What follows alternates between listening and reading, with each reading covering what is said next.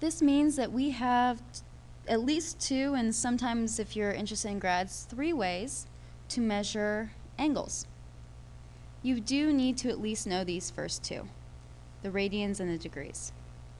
As we saw above, radians tells us the length of the arc subtended by the angle measured in radii. So if I have one radian, it means my arc length equals one radius length. Two radians will mean two radii, or two radius lengths.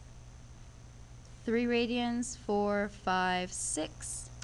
And I can fit a total of 2 pi, or approximately 6.28 total radians in a circle. For example, I could have 4 radians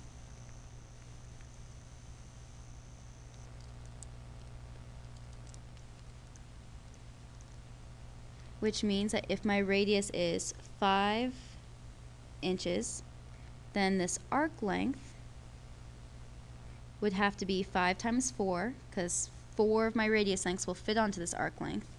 So my arc length will be 20 inches.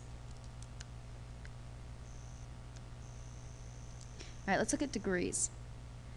With degrees, what we essentially do is we take a circle and we've cut it up into 360 equal segments. So each degree is 1 360th of a circle.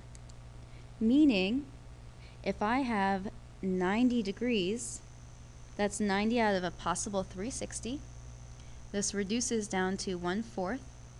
I have 1 fourth of a circle. So, that's why I have 90 degrees. I have one fourth of my possible one circle. Lastly, we have grads. Grads are very similar to, to degrees, but instead of cutting my circle into 360 parts, I'm going to cover, cut it into 400 equal parts. So each grad is 1 400th of a circle meaning if I had, let's say, 150 grads of a possible 400, well, 150 out of 400 is going to reduce down to, let's see, we're going to get about 3 eighths of a circle.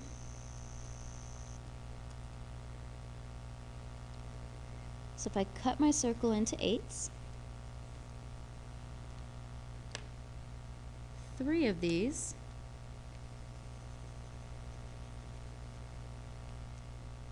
makes up my four, or not 400, 150 grads. What you really need to know and you need to have fully understood is that there are a total of 2 pi radians and 360 degrees in a full circle. And this will be important. Because next we're going to talk about converting angle measure.